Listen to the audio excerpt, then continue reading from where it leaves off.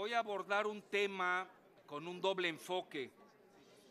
El primero va, eh, y para que ustedes al final del día, pues lo apliquen a, sus respectivos países. Porque al final del día eh, existe un orden internacional que hoy está en crisis, que es un modelo que viene desde la Segunda Guerra Mundial, eh, y ahora pues este orden se está descomponiendo a pasos acelerados.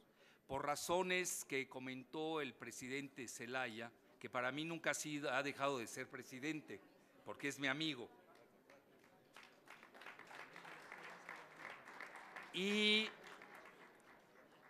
hoy ese orden, pues eh, por eso incluso creo que van a regalar algunos libros por el profesor Anaya, y el, el título es ese, el desorden global, que puede ser orden al final del día, porque vean, de, entrada les garantizo que no va a haber una guerra nuclear. Me van a decir, bueno, ¿y cuál es la razón? Porque va a perder Estados Unidos, así de fácil. Y la segunda es que si ocurre, ni vamos a participar y ni nos vamos a enterar, así que duerman tranquilos. ¿sí? Entonces, ya dicho esto, vean, eh, es muy sencillo el abordaje. ¿Por qué manejo la era post-Estados Unidos? Porque Estados Unidos tiene una grave crisis hoy. Yo ya la manejé en mi libro El supremacismo blanco de los evangélicos WASP, White Anglo-Saxon Protestant.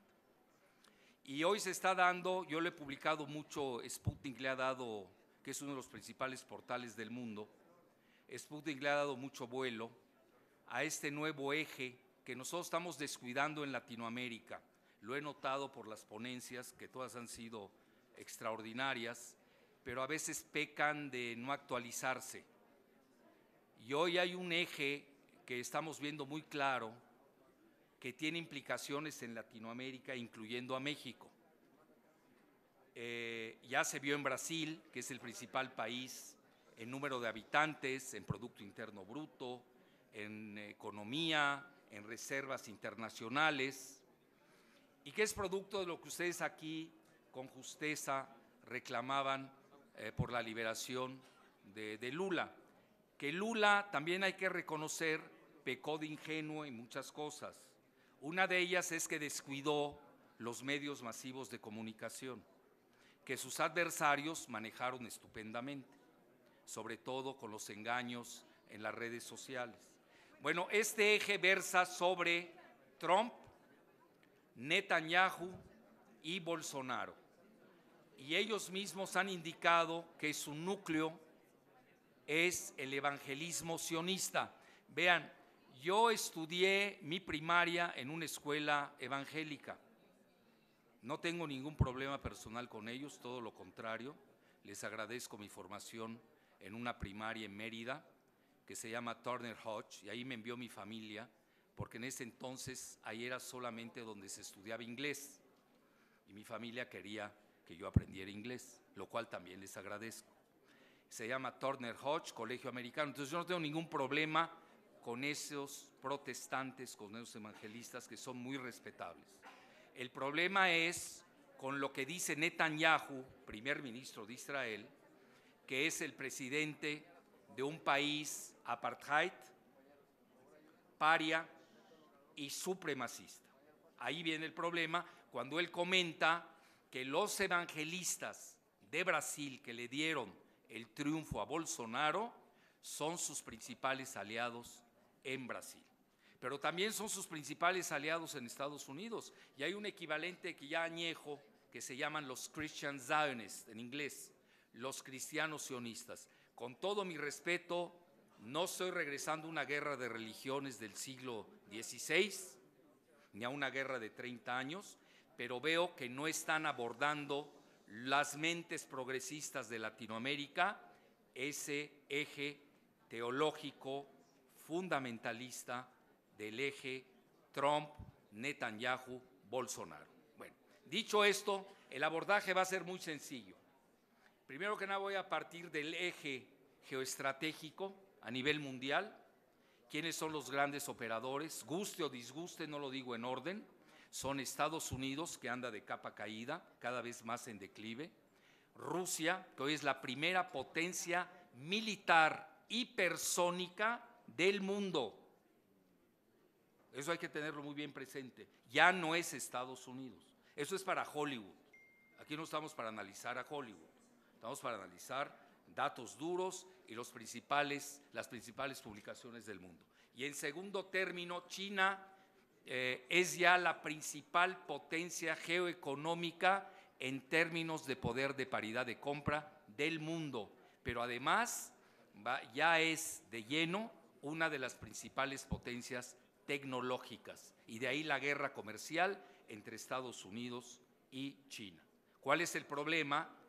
Que Estados Unidos no está tomando en cuenta que el paraguas militar de China se lo está dando Rusia, porque existe una asociación estratégica cuyos alcances no conocemos, por eso, ¿qué tal si hay acuerdo secreto? Nosotros hemos visto ahorita una asociación estratégica de cara a la luz del mundo, pero ¿cuáles son los acuerdos internos? Y cuando uno se mete a estudiar a fondo a Rusia y a China desde el punto de vista económico y militar, se percata uno de que existe una gran complementariedad y sobre todo el gran concepto euroasiático de parte de Rusia, que maneja mucho el gran geopolitólogo Alexander Dugin, y de parte de China, que tienen tres, eh, yo diría hasta cuatro grandes proyectos. Las tres rutas de la seda, les estoy resumiendo prácticamente la ponencia, en las que ya se incorporó Italia, ojo, ojo, Italia ya se incorporó, y luego tenemos el proyecto que eso le ha sacudido a Estados Unidos, lo ha perturbado, que se llama China 2025, quiere decir China 2025, en la que tienen como objetivo ser autárquicos. Bueno, es una palabra dura, yo a veces hay mucho de publicidad en los proyectos. La autarquía, ustedes saben que es la autosuficiencia económica. Yo no sé qué tanto la consiga China, pero ese es su proyecto, por lo menos desde el punto de vista tecnológico.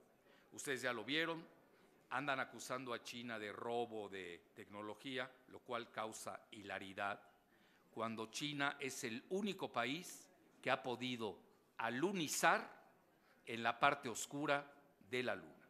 Es decir, que se pone a robar eh, secretos eh, pequeños cuando estamos hablando de grandes proyectos de una dimensión única. Es decir, hoy tenemos que contar a China como una de las tres grandes superpotencias tecnológicas del planeta. Bueno, ya dicho esto, paso a las diapositivas para tener los datos duros.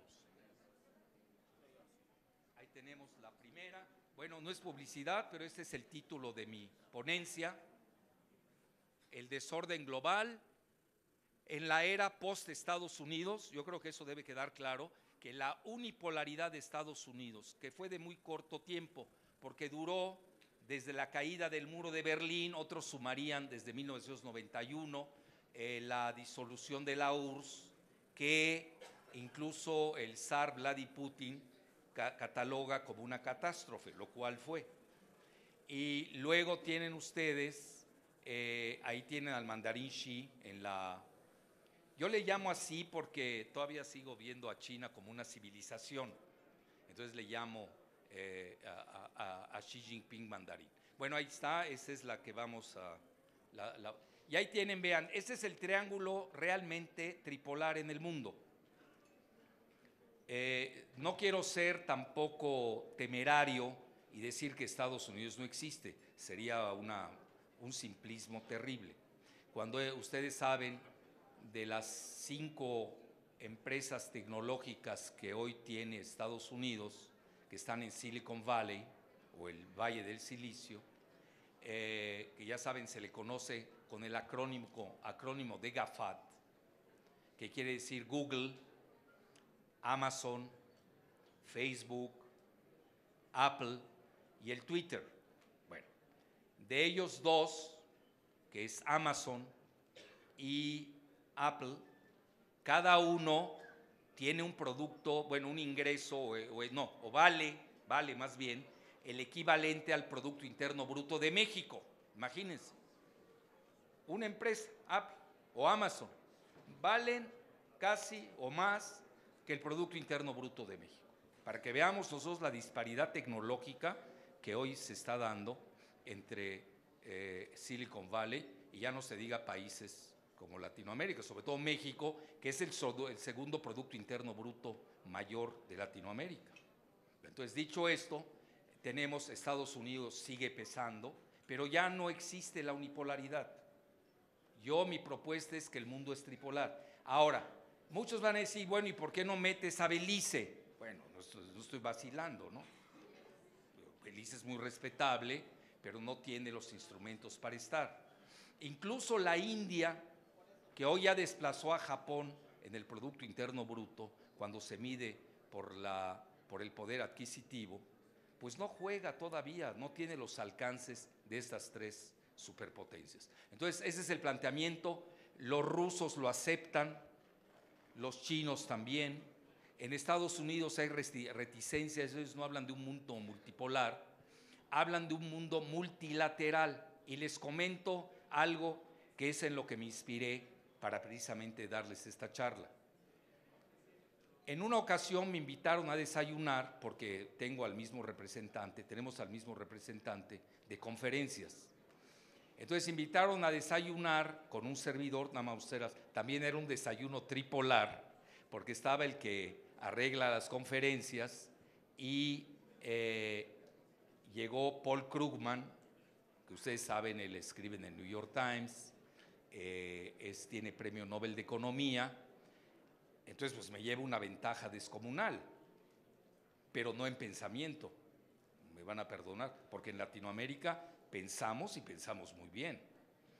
Entonces, en el desayuno, que el que yo concurrí, es de desayuno tripolar, le comenta, no sin amarrar navajas, porque somos buenos amigos, lo hizo en buen plan.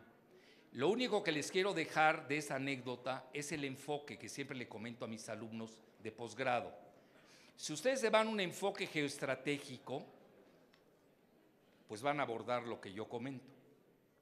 Si se van a un enfoque geoeconómico, van a, repetir lo que comenta Paul Krugman. Fíjense lo que son las cosas. Yo lo que les sugiero, y esa es la, la ponencia, es que vean los dos. No se queden, no sean reduccionistas, no hay que ser maniqueos. No se puede ver el mundo a la Trump, ¿no? Se, eh, blanco y negro. Hay muchos matices, hay otros colores que están entre el blanco y negro.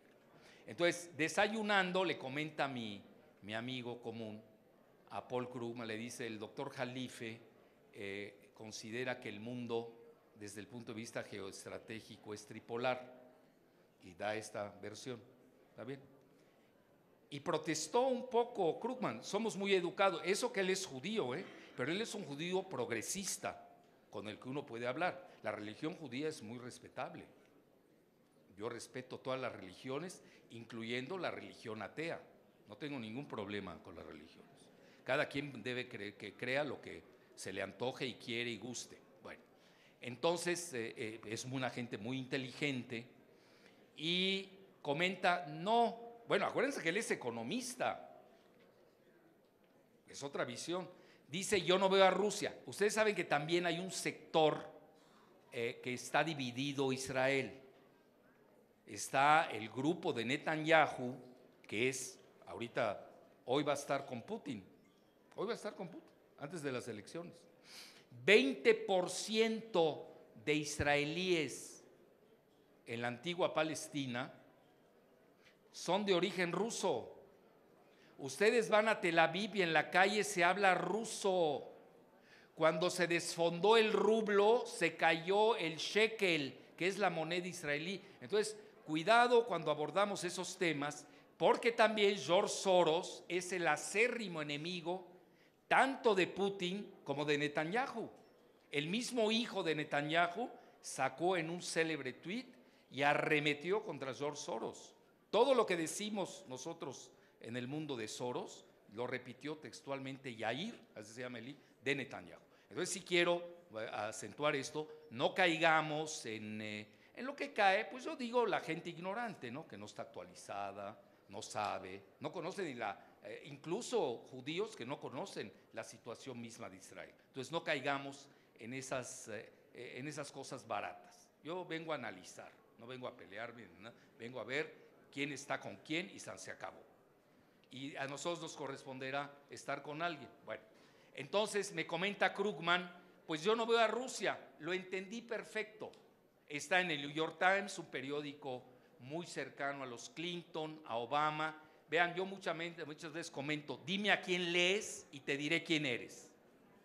Así de fácil. Yo necesito mayor identidad. Entonces, ahí está. Nada más que es una gente civilizada, lo tengo que entender. Está con Soros, ¿no? Odia a Putin, odia a Netanyahu. se da la fórmula perfecta. Y me dice, yo no veo a Rusia. Desde el punto de vista económico, premio Nobel de Economía, veo a la Unión Europea, veo a China y veo a Estados Unidos. Bueno, ya vieron ustedes que tenemos dos enfoques que no son muy similares.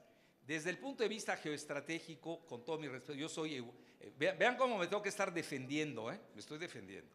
Eh, soy eurocéntrico, soy francófono, francófilo, germanófilo, ya más, y bueno, de Italia, me apasiona el renacentismo italiano.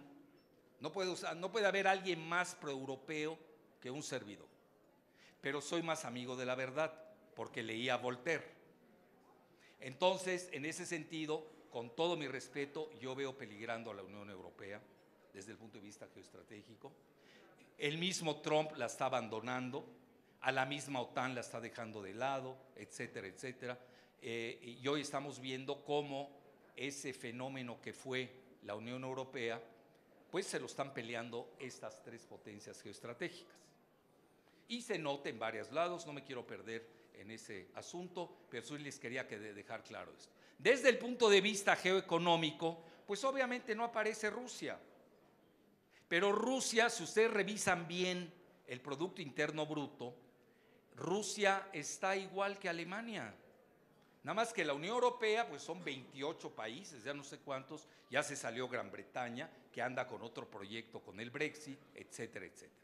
Entonces sí les quiero decir que son dos abordajes, yo diría, eh, diferentes, hay que matizarlos, y yo lo que les propongo en esta, eh, pues ya mediodía, es abordar el mundo con esa doble visión. Lo cual no quiere decir que existan visiones de civilización, de cultura, etcétera, etcétera. Pero ahorita estamos hablando de orden, el orden que tiene que ser geoestratégico y donde pesa mucho las variables y correlaciones geoeconómicas. Dicho esto, me sigo con la siguiente.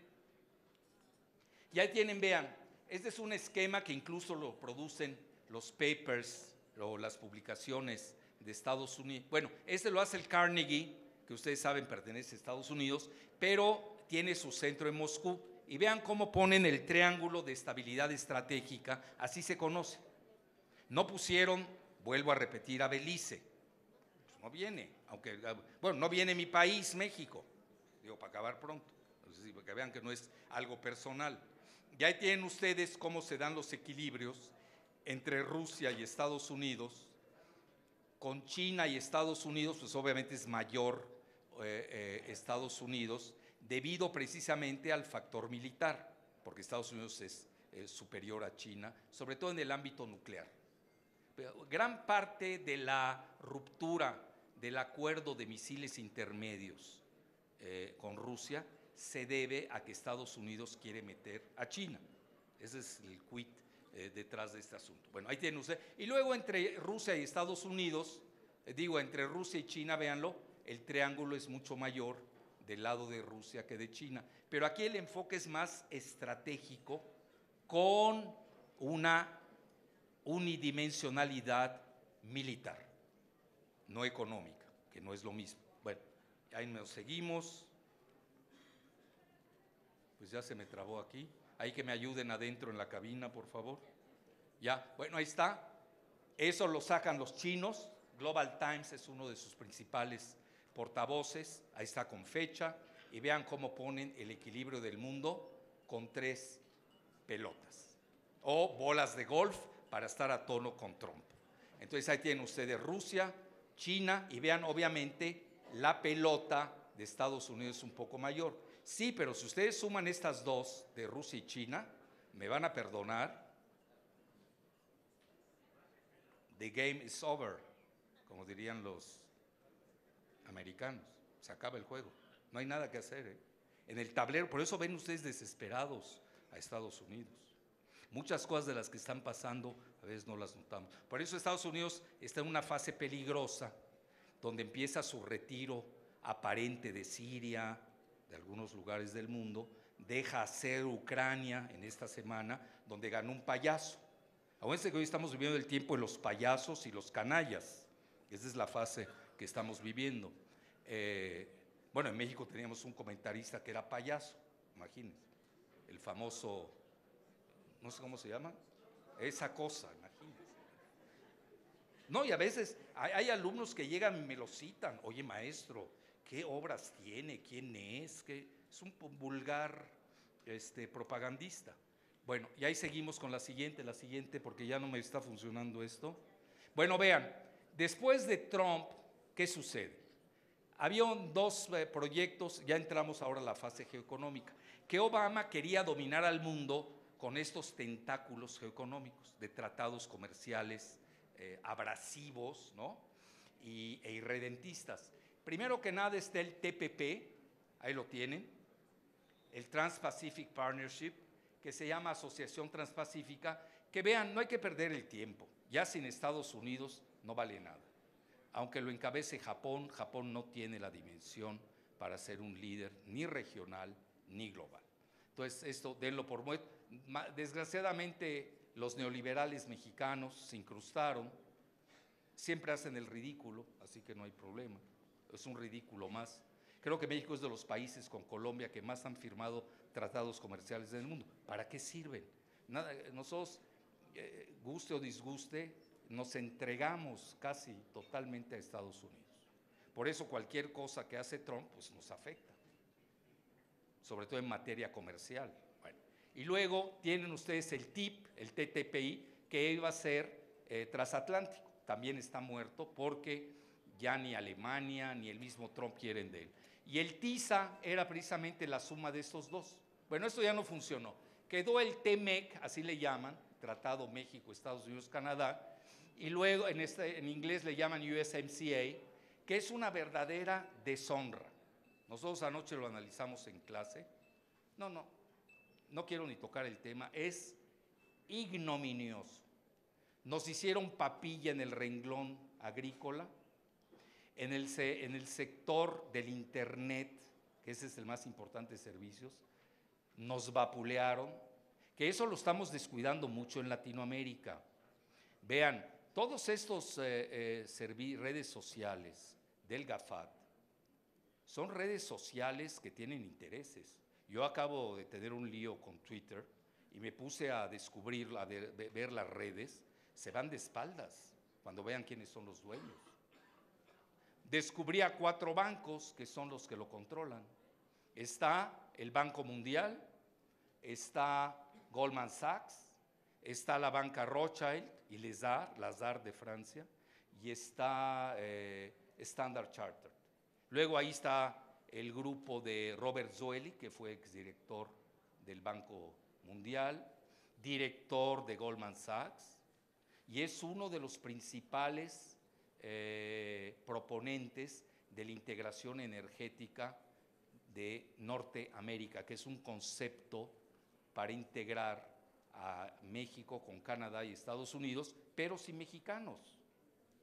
Pues ahí me la platican, ¿no? Bueno, nada más les cité una, que es Twitter, y ya se meten a indagar más al representante en Latinoamérica, y ahí les va, vinculado al Partido Popular Español, vinculado a Televisa, con Krause y su fauna, vinculado a, tele, a, Prisa, todo el grupo del país. Esa vez leemos y no sabemos de quién es el periódico que estamos leyendo. Y nos están intoxicando, sobre todo en esta era de post-verdad, como le llamaron en la conferencia de seguridad de Múnich. ¿Y para qué me sigo con los otros del GAFAT?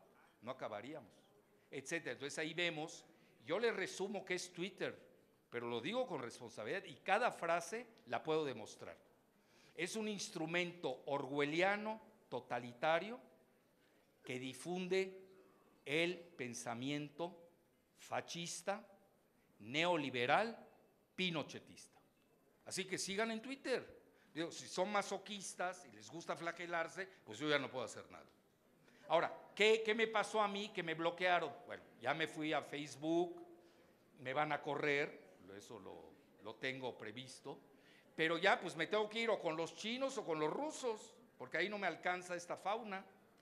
Y ahorita me metí a una red que no conocía, que se llama uv.com.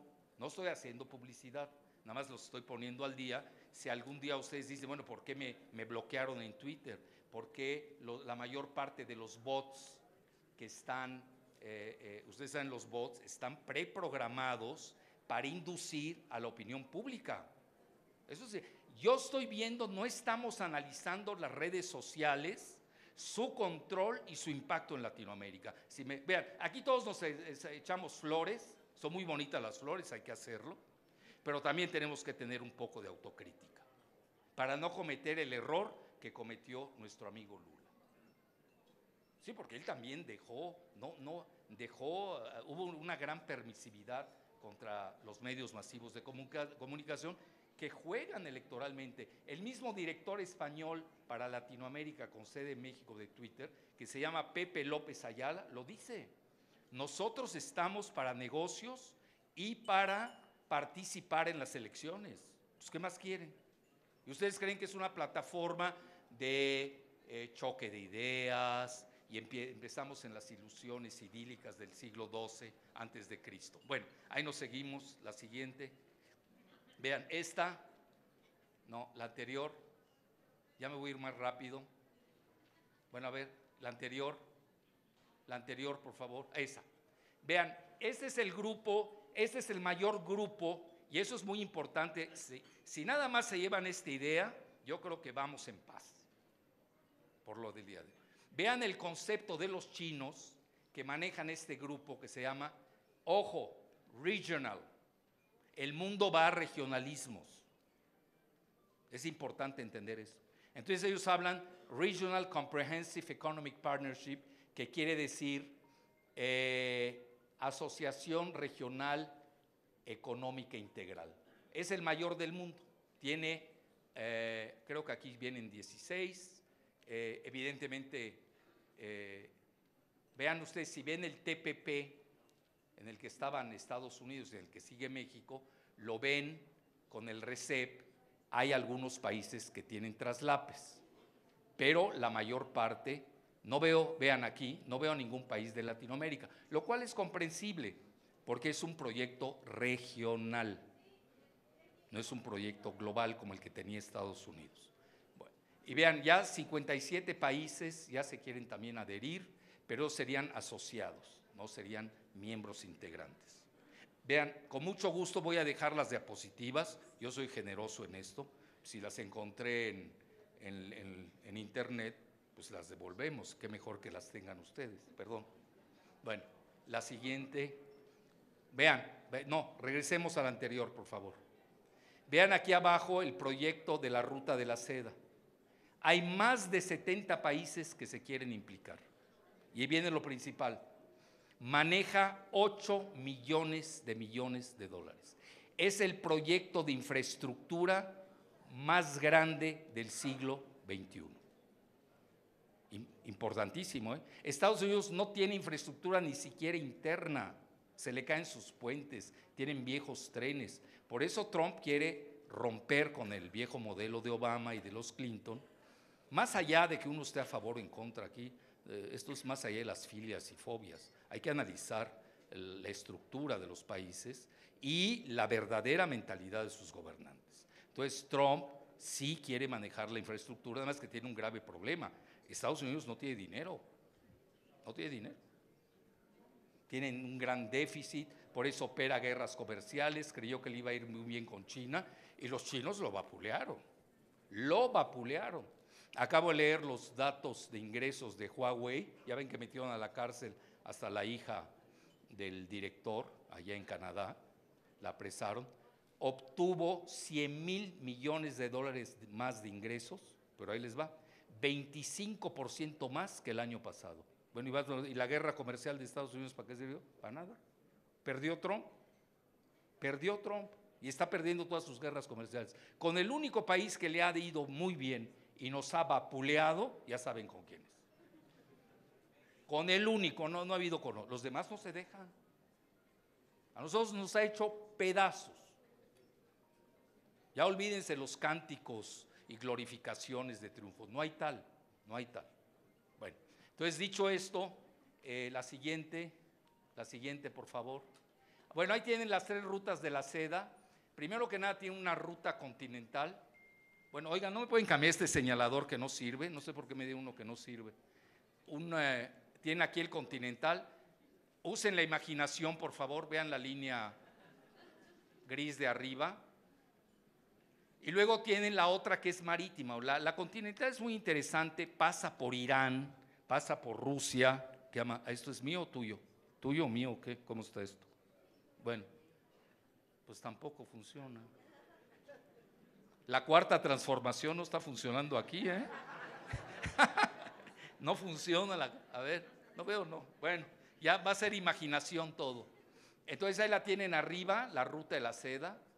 Por eso a Irán le pegan duro, porque es el corazón de la ruta de la seda. Si no crean que es gratuito que le peguen. Luego tiene la marítima, que pasaría por el Océano Índico, la que está en azul ya la están viendo, y luego eh, llega a la parte eh, oriental de África, en donde China ya es el primer inversionista de África, ya desplazó a Estados Unidos. Importante seguir eso. Y Rusia en forma callada participó en la construcción, que esto no sale en Occidente, y menos en las, redes sociales en las que todos estamos enjaulados y somos prisioneros, eh, hicieron el nuevo canal de Suez.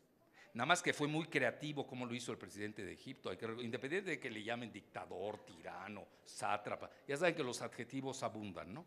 Independientemente de eso, la realidad es que fue con apoyo de los ciudadanos, hizo bonos ciudadanos y la gente se volcó por patriotismo a comprar los bonos del nuevo canal de Suez. Eso no se maneja para nada en la prensa occidental. Bueno, y luego tienen, que esto es lo más importante, para que vean cómo el cambio climático también jugó, que es la tercera ruta de la seda, que es la del Ártico. Con el deshielo, ¿qué sucede? Pues ahora la logística, ahí la tienen, va a ser solamente de 24 días, la mitad del tiempo que, toma la ruta de la seda continental y la ruta de la seda marítima. La ruta de la seda del Ártico es fundamental. Y ya eh, nuestros amigos chinos, que son muy simpáticos, vean dónde está China y dónde está el Ártico, dicen que ellos se sienten como país del Ártico. Bueno, ¿cómo no se van a sentir del Ártico si tienen el apoyo de Rusia, que es el que más tiene eh, límites con el famoso Ártico. La siguiente, por favor. Nunca me trajeron mi señalador, ¿eh? Bueno.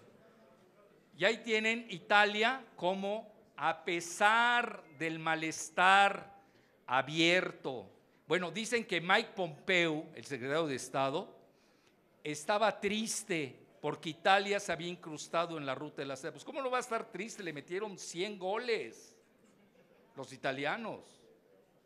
Y luego estaban esperando en Europa, ya saben que se reunió el mandarín Xi con Jean-Claude eh, Juncker, que es el presidente de la Comisión Europea, con el presidente galo, porque la reunión fue en París, Macron, y con Angela Merkel. Y ahí, pues todas las referencias que tenemos es que eh, yo no quiero decir que eh, no resistieron a un cañonazo de 60 mil millones de euros del mandarín Xi. No quiero ser tan banal, pero sí lo persuadieron, ¿no? Por lo menos contribuyeron. ¿Ese sí? ¿Y el de medio qué hace? Señala. Pues no lo veo. Ahí está, allá, pero está muy tenue. ¿No tiene uno más intenso? Que sea de la cuarta transformación, por favor. Bueno. Me mandan un, eh, uno neoliberal, pues ¿cómo va a funcionar? no se actualizan. ¿Quién ganó? ¿Quién perdió? Bueno, y vean, esto es muy interesante. Esto también como idea nodal se las dejo. Hoy China necesita de puertos como terminales para sus rutas de la seda, sean continentales, sean marítimas. Ya eh, el acuerdo con Italia fue, ah bueno, un paréntesis que se me pase. Vieron ustedes la habilidad con la que se movió China. Cuando vinieron los dos accidentes de estos aviones eh, Boeing MX, tanto en Indonesia como en Etiopía, porque no sirven esos aviones. No se suban a un Boeing, por favor, menos el, el 737. Ayer estaba leyendo, hubo un vuelo de Lituania a, creo que a Egipto, no me hagan caso, algún lugar, o a Etiopía, uno de esos. Un vuelo, había un solo pasajero. Pues la gente ya lee. ¿Quién se va a subir a un Boeing 737 MX? Cuando les dice que además no sirve su sistema software. Digo, no sean suicidas, queremos que todos vivan, ¿no? Bueno. Entonces ahí tienen ustedes los cuatro puertos que quiere, eh, eh, quiere China eh, es decir, es Marco Polo en reversa. Fíjense lo que son las cosas. Marco Polo eh, con ingeniería reversa. Bueno, y ahí tienen Génova, Trieste. ¿Y por qué Trieste? Porque está junto precisamente a Eslovenia, que es la entrada directa, vean, al corazón europeo. Ahí tienen a Austria como frontera y obviamente aquí con Hungría, que era, acuérdense, el imperio austrohúngaro, no estamos jugando. Luego tienen Ravenna, ahí está, que es donde precisamente eh, eh, eh, tenían su verano los emperadores romanos.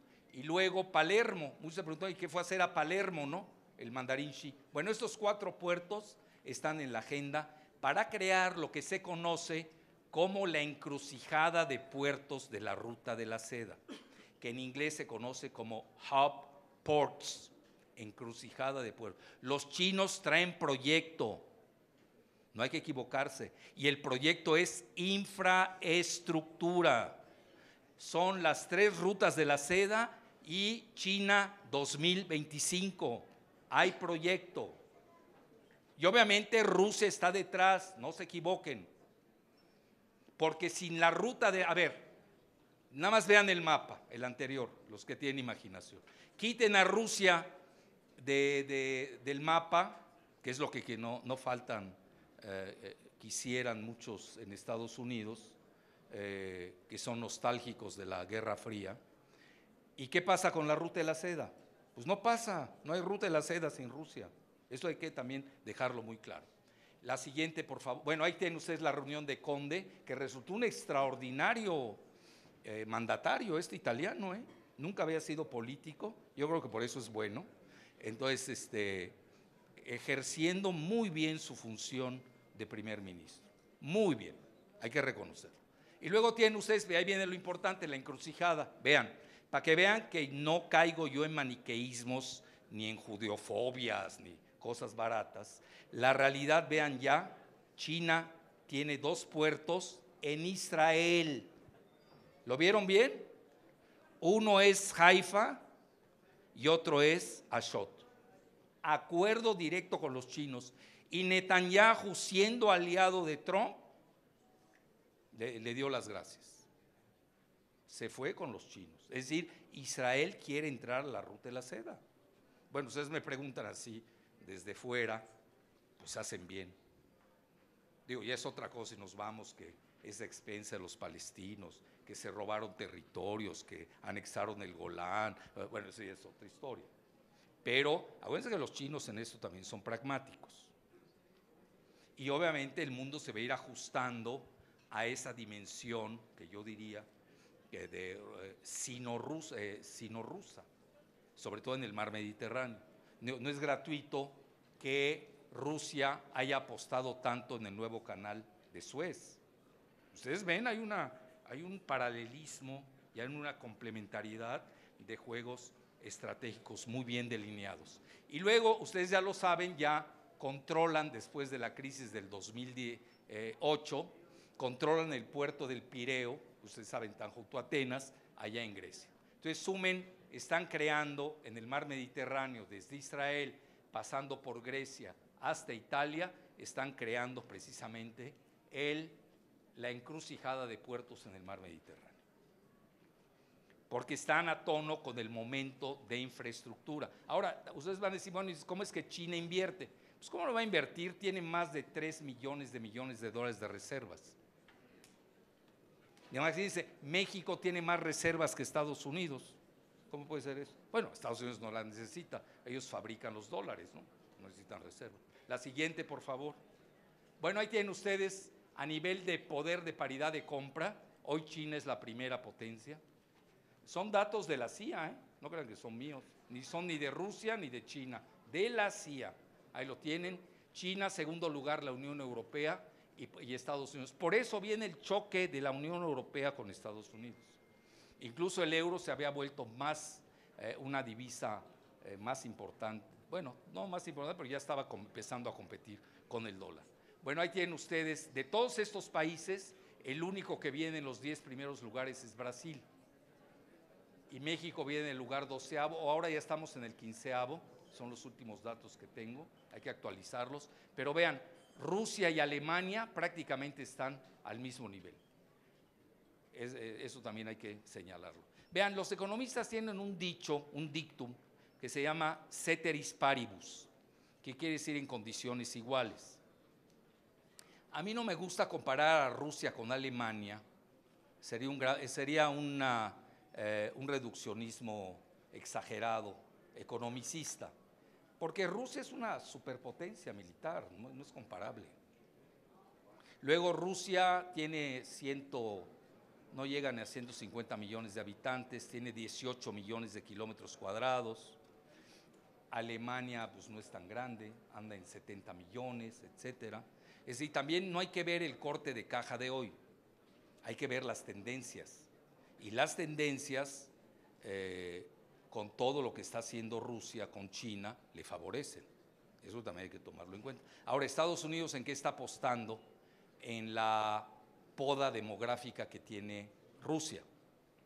Ellos creen que Rusia se va a acabar por dentro porque no están teniendo hijos y realmente están eh, en cero, yo diría, están, eh, mueren el, el mismo número de los que nacen, más o menos. Es un problema que tiene Rusia, sobre todo para llenar un territorio tan extenso de 18 millones. Cuando tienen ustedes a China, que tiene ya casi 1.400 millones de habitantes y tiene más o menos el mismo kilometraje en cuadrado que Canadá y Estados Unidos. Todas esas cosas hay que verlas, porque a veces uno pierde la dimensión y se pone a comparar eh, eh, a hormigas, dicho respetuosamente, eh, con, con águilas, y no es comparable. Bueno, la siguiente Bueno, ahí está. Y ahí viene la parte interesante que yo la veo ingenua, se los digo abiertamente. Siendo eurófilo, eh, germanófilo y todo lo que sigan y lo demás. Pero aquí no estamos hablando de sentimientos, estamos hablando de datos duros. Ella busca crear un equilibrio entre, pero vean cómo regresa la tripolaridad a nivel geoeconómico, entre Estados Unidos, China y la Unión Europea. Yo se los dejo a su criterio y nada más les dejo la pregunta, ¿es factible? Esa es la gran pregunta. ¿Se podrá dar? Los chinos van a jugar con la Unión Europea, les conviene. ¿Por qué les conviene? Porque es la terminal de la ruta de la seda. También les conviene Estados Unidos. Los chinos sí les conviene el equilibrio. Pero ahí donde no veo que jueguen, con todo mi respeto, porque no estoy viendo los equilibrios de Alemania y de la Unión Europea. Estoy viendo los equilibrios de, China, pero no estoy viendo los equilibrios de, la Unión Europea. Pero tampoco veo los equilibrios de Estados Unidos, que se anda peleando con todos. ¿Y qué va a pasar ahí? Pues es un volado con Trump, aunque tampoco, ¿eh? Trump eh, eh, tiene mayor visión estratégica a la que pensamos, no hay que subestimarlo. Vean, habíamos subestimado muchos, bueno, yo no, yo siempre pensé que se iba a reelegir. pero ustedes eh, le preguntaban al 99%, sobre todo en México, ustedes hoy hacen una encuesta en México, de esas que llamamos de banquillo, todos le van a Bernie Sanders, bueno, no tienen ni idea de la política de Estados Unidos. Sí, que no tienen ni idea de la política de Estados Unidos. Todo el mundo le va a Bernie Sanders, pues es muy simpático, nos cae bien y todo, pero no es fácil. Es decir, eh, eh, ahí, vean, esto lo del reporte Mueller, que prácticamente exoneró a Trump, pues como que está muy raro, ¿no? Eh, no está raro si nos metemos a indagar la cuestión forense de los actores. Ustedes saben que el nuevo procurador, William Barr, nombrado por, por Trump, ¿tengo tiempo para abordar esta teoría? Yo creo que sí, ¿no? Sí, bueno, el pueblo manda, así que ya, listo. Y yo me someto al pueblo, bueno, como Andrés Manuel, bueno que dice que no se va a reelegir. Ok. El, eh, puso de procurador a William Barr. Bueno, ¿y quién es William Barr? Ya había sido procurador con el papá, creo con el papá o el hijo de Bush. Es importante ese dato. Y seguramente ustedes se dieron cuenta que cuando muere John McCain del Partido Republicano, no fue Trump a sus exequias. Y cuando muere Daddy Bush, asisten dos personas muy interesantes. Muy interesantes desde el punto de vista latinoamericano y muy interesante desde la política doméstica de Estados Unidos. Asiste Trump. Interesante. Y asiste Carlos Salinas de México. Ojo. Ojo. El único de Latinoamérica. Bueno, ¿qué quiero decir con esto? hipótesis, no estoy diciendo que se hace, pues no tengo los pelos de la burra en la mano, ¿no? ni menos a la burra, ¿no?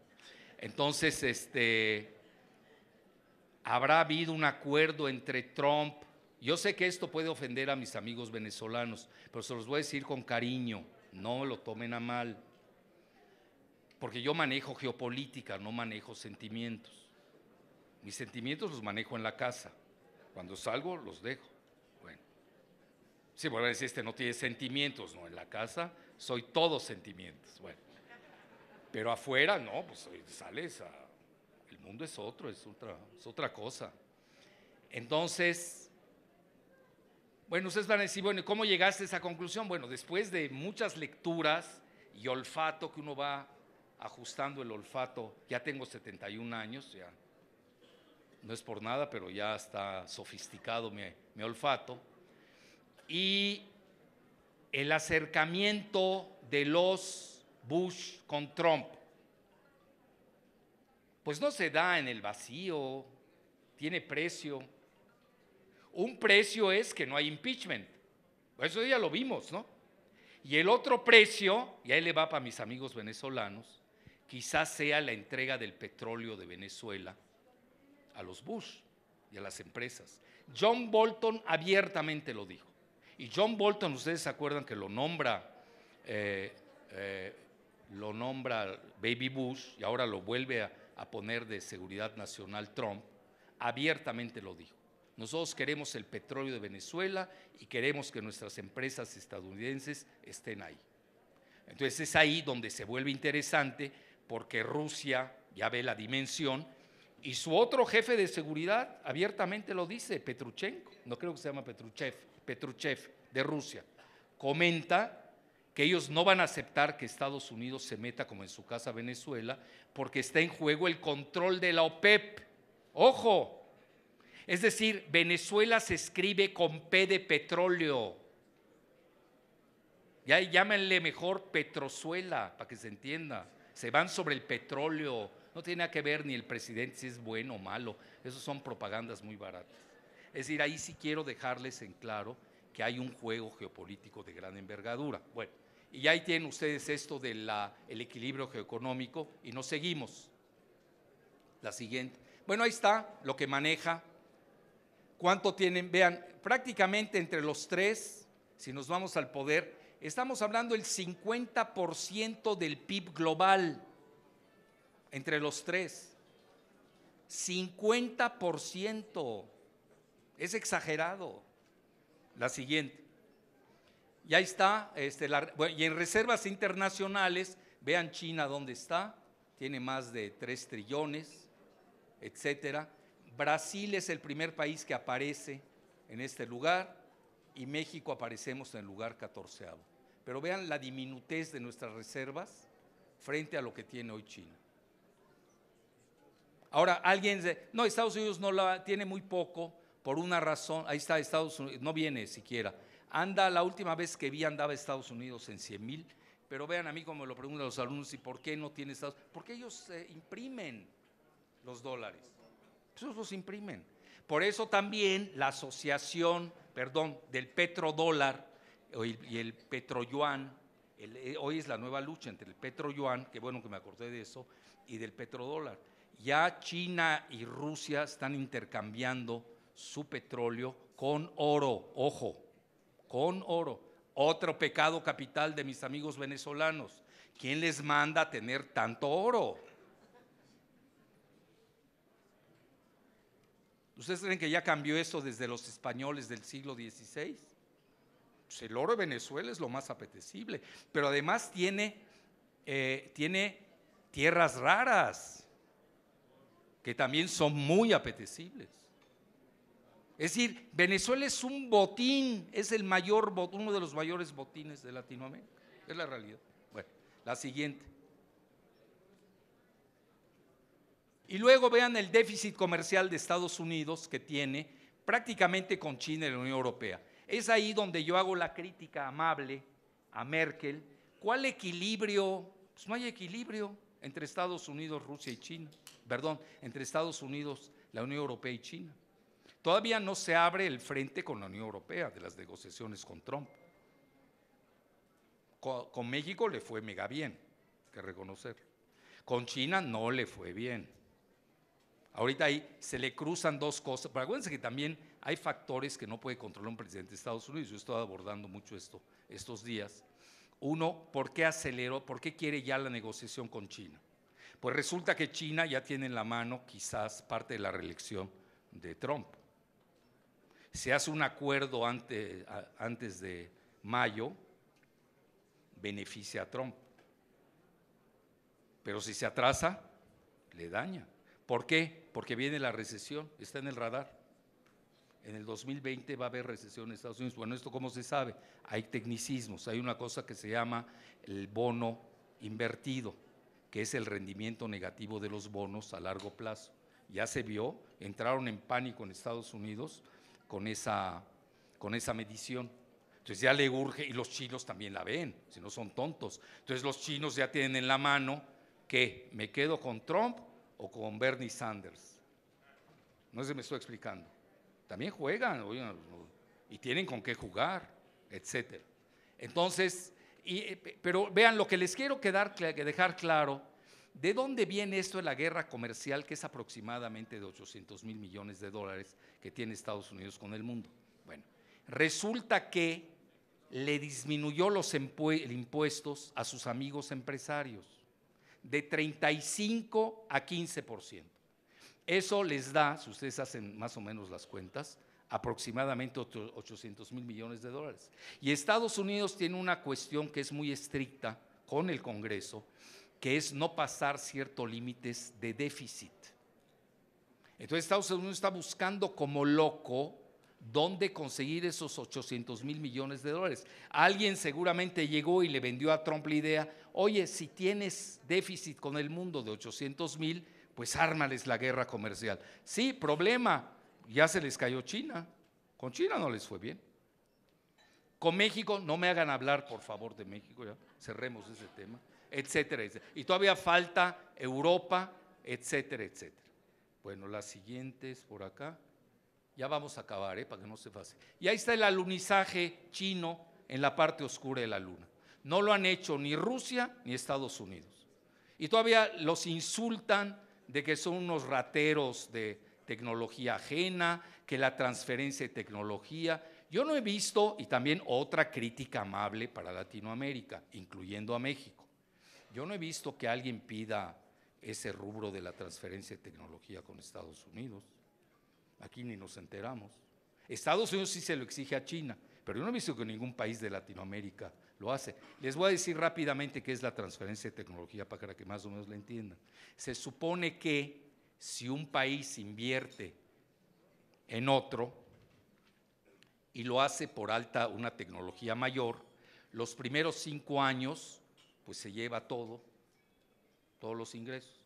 El acuerdo cuando empieza la transferencia de tecnología es que de los 5 a los 10 años se van mitad mitad, 50%, 50%, y a partir de los 10 años el país anfitrión se queda ya con todo. Esa es la famosa transferencia de tecnología, que nosotros no la aplicamos en México. Nosotros seguimos construyéndoles carros a los gringos y todavía no sabemos hacer carros.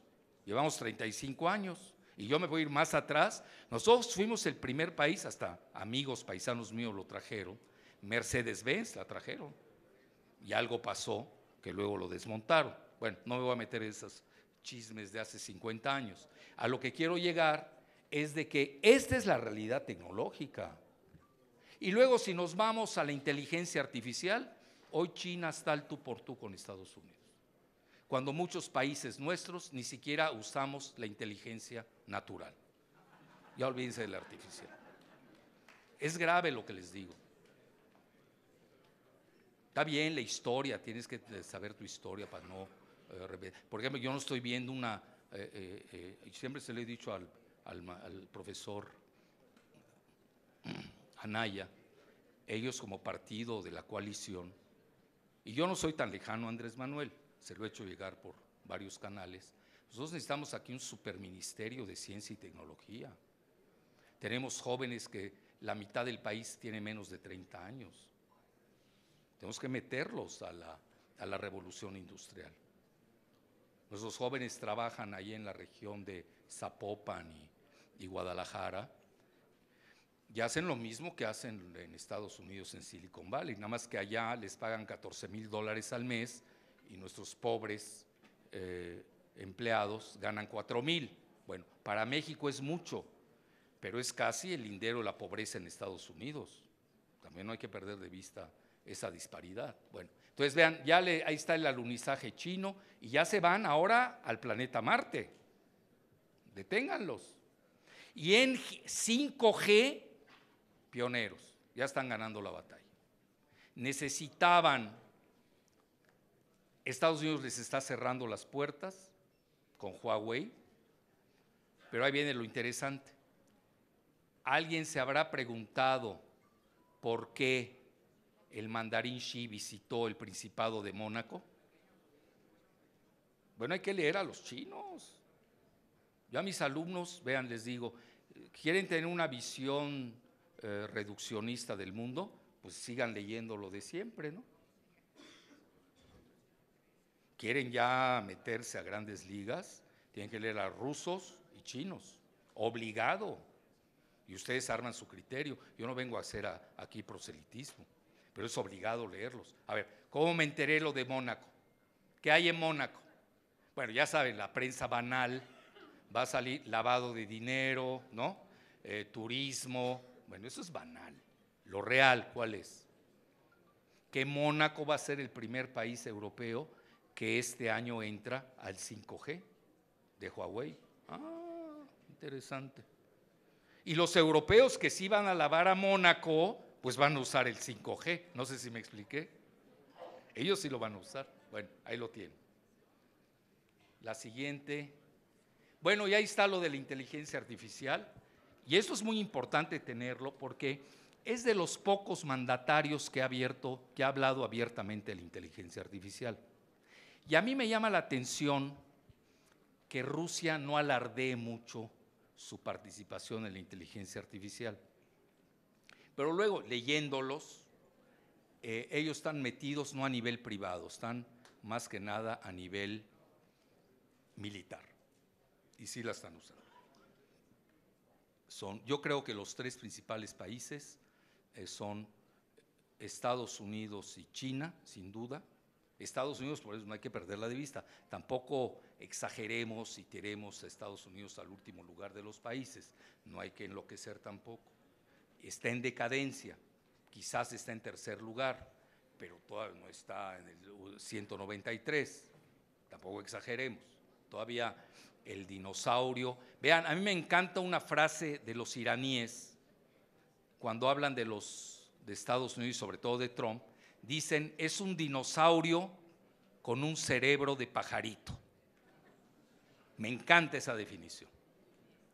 Imagínense un dinosaurio con un cerebro de pajarito, pues cuidado, ¿eh? te puede unos coletazos que a veces no, no te esperas. Tenemos que ser cuidadosos ahí. Entonces vean lo que dice nada menos que el, el, el zar Vladimir Putin. La, cito, la inteligencia artificial es el futuro, no solo para Rusia, Rusia, sino para toda la humanidad. Viene con oportunidades colosales, pero también con amenazas que son difíciles de predecir.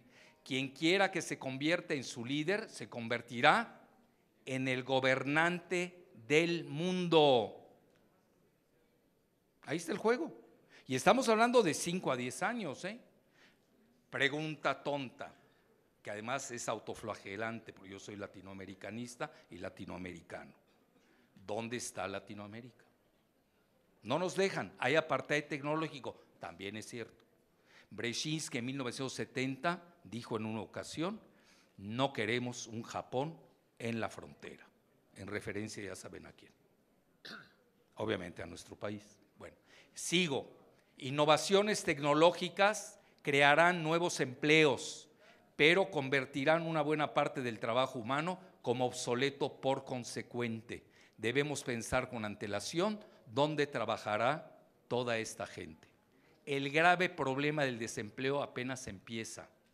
Ya de por sí con los oligopolios neoliberales, porque eso tiende el neoliberalismo a crear oligopolios. Dos, con la misma globalización, el outsourcing, todo eso. Y, y ahora eh, eh, con la inteligencia artificial, no, la automatización antes de la inteligencia artificial, ya tenemos problemas de desempleo. Tenemos que pensar ese rubro. Sí, ¿qué, vamos a hacer con, con toda esa población? Y eso se los dice uno de los tres principales mandatarios del planeta. Ya casi concluyo, a ver. La guerra de inteligencia artificial entre China y Estados Unidos, y es importante este dicho.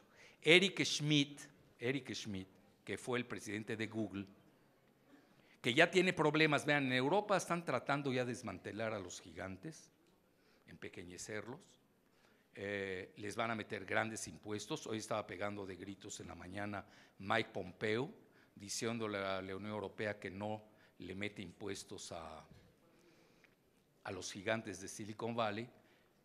Y es muy sencillo de entender por qué se les cae el mercadito en la bolsa de los gigantes de Silicon Valley, sobre todo la parte de Nasdaq de las acciones, y, hay, y sí pueden acelerar la recesión en Estados Unidos, ¿eh?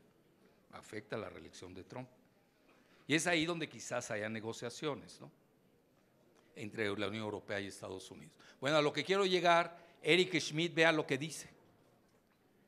China superaría a Estados Unidos en el rubro mega estratégico de la inteligencia artificial en 2025. Les recuerdo que 2025 no es en un milenio, son los próximos seis años. Luego, para luego dominar la industria en 2030, pese a que Estados Unidos haya sido el pionero. Muchos acusan que China lo copió, que hizo, que... Bueno, es otra vacilada. Vean, quien no entiende y conozca la historia de China, pues dice mucha mamarrachada. Es la realidad. Vean, en el siglo XI los chinos ya habían inventado la brújula, tenían su imprenta, tenían eh, pólvora. Ellos no quisieron dominar al mundo porque en ese momento los veían como bárbaros. Es la realidad. Vayan ustedes, lean a los chinos. No quisieron. Y ahora es otro. Ahora son en reversa. Ellos están saliendo a dominar al mundo. Lo interesante, y aquí muchas veces nos confundimos en Latinoamérica, es esta, eh, la definición de globalización. Tengan mucho cuidado. Cuando China habla de globalización, se refiere a la globalización económica, sonante y cantante, de eh, ingresos tangibles. Cuando los anglosajones hablan de globalización, se refieren a la financiera, pura especulación. Eso es Londres y eso es Wall Street, la City y Wall Street. Por eso están en crisis. Oigan, no crean que es gratuito lo del Brexit. No crean que es gratuito la llegada de Trump. Estamos hablando que son las reacciones internas a su modelo que perdió frente a China e India, porque no hay que perder de vista a India. En el software, eh, eh, India le ha ido muy bien y vean el lugar que ya ocupa. Bueno, y luego yo les diría, aquí viene lo del GAFAT, si me permites, que amable. GAFAT, Google, Amazon, Facebook, Apple y Twitter de Silicon Valley está asociada al Pentágono en el segmento Defense Innovation Board. Aquellos que no han seguido ni han estudiado GAFAT, yo llevo cinco años y no soy ni Julian Assange ni Edward Snowden. Y son datos a los que uno puede acceder investigando. Forman parte del Pentágono. Por eso no crean, yo a veces temo este bloqueo del Twitter. Yo voy más allá. Estoy viendo, oiga, no vaya a hacer algo el Pentágono, por lo menos ya están enterados si me pasa algo, quién estuvo detrás. Y no la mosca de Enrique Krause, por favor. Es un insecto o el gonococo de Felipe Calderón. Ya ver, ayer agarraron a, Fox, fue a desayunar con pijama. Si ese no hay que encarcelarlo, hay que internarlo en un manicomio. Ahí sí se equivocan el PT y, y Morena. En pijama. Y ese nos gobernó. Bueno, para que vean que vengo hoy nice, no voy a tocar el tema. Bueno, este sí es importante, Defense Innovation Board, el Consejo de Innovación de Defensa. Luego, este Schmidt, que es inteligente, ¿eh? a mí me llama mucho la atención Schmidt, tiene un pésimo amo, pero es inteligente. Entonces él dice, ojalá participe también la Unión Europea. Y llama la atención porque la Unión Europea no tiene un Silicon Valley, teniendo mentes prodigiosas, habiendo teniendo estructura eh, tecnológica, financiera, se consagró al monetarismo capitalista y ya. Y eso ya se les acabó desde el 2008. Entonces, piensa que cómo ganar guerras con aplicación bélica de la inteligencia artificial. Detrás de la guerra comercial entre Estados Unidos y China se encuentra el posicionamiento tecnológico que marcará el siglo XXI sobre la primacía global de la inteligencia artificial. Como dicen los ingleses, this is the name of the game. Este es el nombre del juego. Y tenemos que entenderlo en Latinoamérica. O por lo menos, si no podemos hacerlo, no se equivoquen de patrón. Váyanse con el mejor patrón, por favor.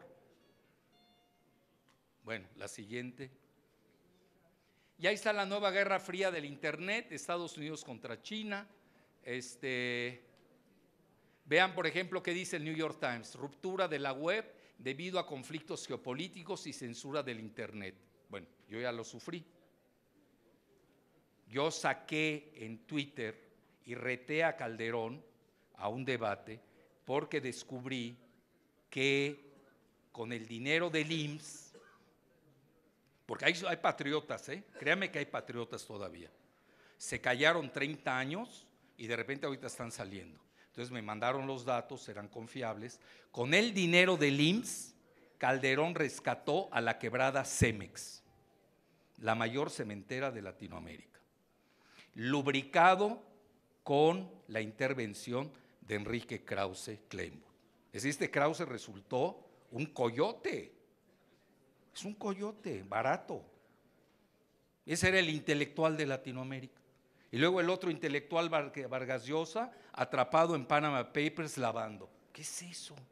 Bueno, pues es Televisa, a imagen de Televisa. Televisa quebrada, totalmente quebrada. No dura más de tres años, acuérdense de mí. Espero vernos en el seminario número 26.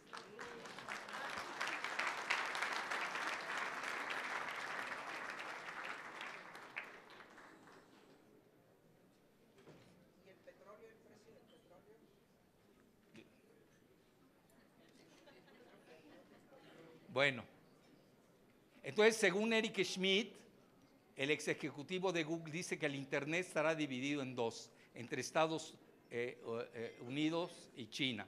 Y hago yo la pregunta, ¿cómo puede ser global el Internet en la fase de la desglobalización, del desorden global geopolítico, de las guerras comerciales transcontinentales y de la competencia por el alma de la inteligencia artificial entre Estados Unidos y China?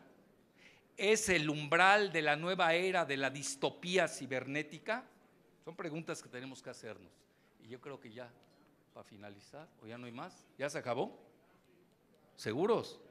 Yo que quería más. Bueno, bueno, es, no falta, ¿qué les pasa? Vean, este autor hay que seguirlo, se llama Andrei Martinov. Nada más les voy a mostrar el, el libro, ubíquenlo, donde ahí demuestra cómo Rusia ya superó a Estados Unidos en el rubro militar. Y el mismo Vladimir Putin comenta que lleva esta, eh, Rusia, sobre todo en armas hipersónicas, muchos les llaman supersónicas, le lleva 20 años de delantera. 20 años. Por eso llegan tres eh, eh, aviones rusos a Venezuela y se pone a temblar todo el Pentágono. Pues no es gratuito. Ahí no está jugando uno, etcétera. Este lo brinco, pero sí les sugiero el, el nombre del libro. Ahí viene la demostración. A ver la siguiente, por favor. Y vean, Vladimir Putin levanta el desafío nuclear de Trump. Nuevo orden mundial o juego sin reglas. Así de fácil. O te portas bien o nos vamos sin reglas. Créame que Trump al final se va a sentar a negociar el nuevo orden tripolar. No tiene opción. ¿Quiénes vamos a pagar los platos rotos? El patio trasero, desgraciadamente. Más si nos vamos a regionalistas. Bueno, y ahí viene. Bueno, aquí es de toda su conferencia que dio, pero lo que más quiero llegar es a esto, vean. Este, ahí está, el famoso avant Es un deslizador que es la maravilla militar. Ya lo probaron. Vean, olvídense de la prensa barata de Estados Unidos que además son desinformadores, el New York Times, el Washington Post, que es a pantalla bobos, se los digo abiertamente. Amigo, viene alguien, sobre todo los locutorcillos que tenemos aquí en México, es que lo dijo el New York Times, no, pues, tú lo estás diciendo, quién eres, ni sabes de lo que estás hablando. Y luego te cita el New York Times, que hoy es el icono de la mentira. Aquí yo le cito gente de primer nivel, por ejemplo, el, el, el general a cargo de Stratcom, Strategic Command, el Comando Estratégico de Estados Unidos dice, tomen en serio lo que dice Rusia, no están jugando. Así de fácil. Bueno, y ahí está el famoso avant-garde, que es una maravilla de la tecnología militar. Y luego, eh, vean, y aquí ya entro a lo del, ¿cómo se llama? La cuestión migratoria, que hay toda una geopolítica, ahí está todo el, eh, vean, en Europa, en Latinoamérica ya los descubrieron, está George Soros, todos sus grupos. Son los grupos que México yo aquí los hemos detectado, son Krause, Castañeda Goodman, toda esa fauna, ¿no? Que ya conocen muy bien. Toda la Televisa, todo eso. Bueno, este, y ahí viene lo interesante. En Hungría, acuérdense que él es de origen húngaro, el primer ministro de Hungría, Orbán, acusó a Soros de estar detrás de los flujos migratorios. Yo ahorita acabo de hablar off the record con mi amigo el presidente Zelaya, que para mí sigue siendo presidente, pero más que nada sigue siendo Zelaya.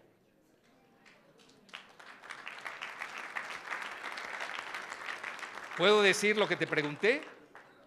¿Seguro? Bueno, le pregunté porque quería aseverar, yo traigo los datos, quien está detrás del financiamiento del oleaje migratorio de Centroamérica a México es George Soros.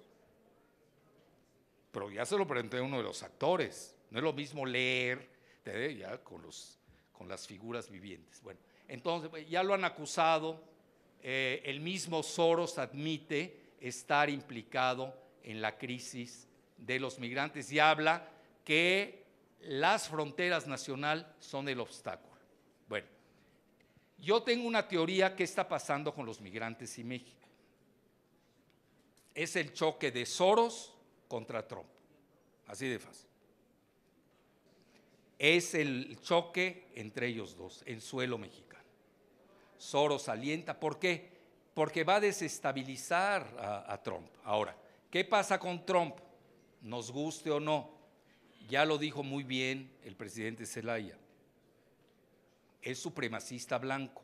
Su base electoral es la región del Bible Belt, el cinturón bíblico y el cinturón industrial. En Estados Unidos, ahí hay mucha confusión que es deliberada por los encuestadores, que es una industria de la desinformación y los ratings falsificados. Nos engañan. En, en Estados Unidos no importa tener popularidad o no, eso porque no hay voto popular para un presidente. Ahí se gana por el colegio electoral, que es una votación de corte decimonónico del siglo XIX. Con el voto electoral, cada estado tiene un número fijo de votos, independientemente de lo que se obtenga en ese estado, nada más que hay que tener la mayoría. Obviamente hay matices en lo que estoy diciendo. Y ahí, nos guste o no, Trump le va bien. Pero si ustedes siguen las encuestas y ratings, pues le está yendo mal, no tiene buena aceptación, anda en 40%. Pero él no está jugando a la popularidad nacional. Él está jugando al voto electoral y su principal voto electoral del colegio electoral viene del Bible Belt, de este cinturón bíblico, que son los eh, supremacistas blancos. Es importante entender eso. Y obviamente, nos guste o no, Soros apuntala a los Clinton y apuntala a Obama estamos teniendo dos choques tremendos donde en Estados Unidos, vean, a veces no lo queremos ver, yo he estado metiéndome mucho ese tema, grandes historiadores les hablan que el país está al borde de una guerra civil. Nosotros no estoy viendo un plan B en México ni en Latinoamérica. ¿Qué vamos a hacer? Imagínense lo contrario, que no es nada descabellado ni distópico. ¿Qué vamos a hacer con 330 millones de gringos? si no podemos con 125 millones de mexicanos. No, créanme que es un problemón, ¿eh? Es un problemón. Es decir, quien nos va a desestabilizar son ellos, no nosotros a ellos. porque tienen un grave problema interno al borde de la guerra civil. Vean, incluso yo lo manejé en, la, en el libro que se llama Trump y el supremacismo blanco. En resumen, el, eh, hice el libro y es muy sencillo entender Estados Unidos. Estados Unidos, Trump es supremacista blanco evangélico. Es WASP, que se conoce como White Anglo-Saxon Protestant. Tiene una gran alianza con Netanyahu y con Bolsonaro de Brasil. No hay que perder de vista esa. Eh, ahora, el subtítulo, ¿por qué se llama Palestinización de los mexicanos? Y me basé en un dato que dio el mismo Netanyahu cuando vino a visitar a Texas, en Dallas, Texas, tuvo ahí una conferencia con un grupo de judíos estadounidenses y le preguntaron, ¿por qué maltratas tanto a los mexicanos? ¿Por qué hay ese maltrato a, eh, a los no, a los palestinos, perdón? ¿Por qué maltratas tanto a los palestinos? Vean mi lapsus, ¿eh? Entonces comenta él, ustedes deben entender que los palestinos son para nosotros los israelíes lo que los mexicanos son para ustedes los estadounidenses. Es decir, le tienen pavor al factor demográfico que yo he bautizado como la fuerza biológica azteca irresistible. No pueden. La batalla cultural, civilizatoria y demográfica ya la perdió Estados Unidos con nosotros. En términos demográficos, se los digo rápidamente, Estados Unidos tiene de blancos, más o menos, la mayoría son protestantes, 62%. Y el 18% son los latinos, mal llamados hispanics. Yo no sé qué quiera decir ese terminajo de hispanic. Siempre he dicho yo, incluso a mis amigos diputados y senadores, ya protesten ese terminajo. ¿Qué quiere decir hispanics? Y menos después de ahora del agarrón de Andrés con, con aquellos, ¿no? Hay que protestar, no, latinos. Y segundo, el 80% somos mexicanos. 80%. Si la fuerza biológica azteca viene muy fuerte, no se crean. Y luego, ¿qué pasa? Estamos hablando 18%. La tendencia en los próximos 20 años, estamos hablando de una generación, va a ser la mayoría etnodemográfica de Estados Unidos. Pues ¿cómo no quieren que aparezca un Trump? Pues hay que entender también del otro lado que Estados Unidos está instalado de nuevo en el Mayflower, en el fundamentalismo eh, de los cuáqueros, misma mentalidad, no crean que ha variado. Entonces hay que entenderlo, porque este dinosaurio con cerebro de pajarito, pues te puede dar un coletazo. ¿Para qué te metes?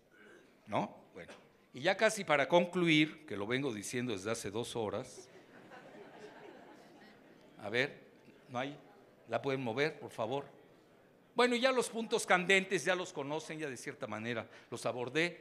Tienen Ucrania, que realmente fue sorprendente lo que pasó. Como que viene en primer lugar un payaso. Bueno, dicen, es mejor que el que vende chocolates que se llama Porochenko. Bueno, vean ustedes la degradación de la política. Fox en México, en pijamado, ¿qué es eso? ¿Ya para qué seguimos? Me pongo a, a nombrar a los mandatarios. La siguiente, bueno, hay muchos que dicen, créanmelo, Rusia, Estados Unidos y China ven el mundo en su globalidad. Nosotros vivimos en lo local, pues lo vemos a nivel local, y en lo regional, pues con quien te afecta más. Nosotros nos afecta eh, eh, Estados Unidos por las medidas unilaterales que toma, y obviamente eh, Guatemala por donde viene el paso de refugiados. Que a veces nos olvidamos eh, que en esto hay un alfa y un omega, en esto los refugiados. ¿Quién empezó las guerras en Centroamérica? Eso se nos olvida. No ahí tienen ustedes el pecado capital de Venezuela. Vayan a los escritos de Spickman, se los recomiendo, sobre todo a los venezolanos que no lo conocen. S-P-Y-K-M-A-N, Spickman le llaman el mar Mediterráneo del continente americano, al Golfo de México y al Caribe. Es seguridad nacional para Estados Unidos, de ese tamaño. Y si a eso le agregan que tiene petróleo, oro, piedras raras y que el régimen no es muy amigable con Marco Rubio de Florida, bueno, pues hay problemas, hay problemas. Entonces, pero la realidad es... Eh, Incluso el Golfo de México ya le quieren cambiar el nombre. Hay el Congreso de, Mississippi, hizo una enmienda, luego ya la cambiaron. Yo creo que van a regresar a, resucitarla, cambiarle el Golfo de México por nombre de Golfo de Estados Unidos. ¿Y saben con qué se salieron? Con que hay, eh, eh, hay igualdad de estados del lado de Estados Unidos que del lado mexicano. Entonces le quieren cambiar el nombre a Golfo de Estados Unidos. Bueno, ustedes acuérdense que cuando empiezan esos movimientos es que hay algo detrás. Bueno, ya hablamos de lo de Venezuela. Este, muchos dicen que puede haber un trueque, no lo sé, yo ahí no. Los venezolanos saben más cuando toquen el tema, ojalá me ilustren, etcétera, etcétera. Pero vean ustedes la dimensión, el Golfo de México, todavía de México, del petróleo que tenemos, es una de las, eh, mide la parte de México más o menos mide 2 millones de kilómetros cuadrados. Es superior a la superficie de Irán. Dio mi muy humilde opinión, sin datos a la mano, nada más por olfato de pajarito, pero con un gran cerebro, el, eh, que vuela mucho por eso, eh, es quizás una de las mayores reservas del mundo de petróleo. Y si le sumamos todo el mar Caribe, súmenle el Golfo de Maracaibo. Estamos hablando, acuérdense, todavía no se ha definido el siglo XX. El siglo XX era el petróleo, pero no se acaba de definir. Se está prolongando desde el vista de punto del petróleo. Y el siglo XXI va a ser el agua, que es su corolario, etcétera. Es todo un tema. Bueno, lo de Siria ya se está resolviendo. Irán, su gran problema es, aparte de tener mucho gas, es que no lo controla Estados Unidos, Y otro gran problema es eh, que es paso de la ruta de la seda. Hay que tomarlo en cuenta. Y tiene excelentes relaciones con Rusia y con China. Lo que pasa es que vean, eh, Estados Unidos y Gran Bretaña están usando hasta el final todo este control financierista que tienen. Mientras los países no se salgan de ese control, van a haber problemas. Porque Estados Unidos va a usar el dólar, va a usar devaluaciones. Y alguien me puede decir, alguien de Argentina, bueno, eh, Macron, que ya le llaman a su grotesca manera de conducir al país, Macron economía, en lugar de macroeconomía, Macron economía, oigan, una devaluación del 50%, el país despedazado y siendo neoliberal. Esa es otra. ¿no? Entonces, ahí hay también que ver que Estados Unidos está usando hasta el final a toda su panoplia eh, pecuniaria. Y ya casi es así para concluir. A ver, la siguiente, por favor. Bueno, Yemen, hoy precisamente el Partido Demócrata prohibiendo que Estados Unidos venda armas a una de las partes en conflicto en Yemen. Lo va a vetar, obviamente, Trump, porque de eso viven. A veces cuando llegó a Arabia Saudita, se puso hasta bailar la danza de las, eh, de las cimitarras, así se le llaman las espadas del desierto, eh, por 130 mil millones de dólares. Es decir, es fácil poner a bailar a Trump. Ya sabe uno cuál es la fórmula, ¿no? La siguiente. Y ahí está el mar de China. No, ya me fui. ¿Me pueden poner la última ya para concluir, por favor? Y la última, mientras la ponen, y si no la ponen, pues se las abrevo, el que no es albur. El, eh, ahí está, es el mar del sur de China. Esa es una parte, los grandes analistas comentan que dos puntos donde puede darse una guerra sería en el Báltico, entre Rusia y Estados Unidos, y el otro es el mar del sur de China, la última. Bueno, ahí la dejamos esa, ahí, y también Taiwán, que alguien la está calentando, está calentando la agenda. A lo que quiero llegar es de que, ya para concluir, y acuérdense de un servidor, aunque no me hagan la pregunta, ¿dónde acabaron los yihadistas que estaban en el Medio Oriente? ¿Dónde están? Algún lado se van, ¿no? Y yo traigo la hipótesis de la cama de agua. Los sumerge el Pentágono en un lado y aparecen en otro. Mi muy humilde opinión es que van a aparecer en la región de Xinjiang, que es la única provincia autónoma islámica de China, donde viven los célebres uigures. Escribe U-I-G-U, uigures, ¿sí?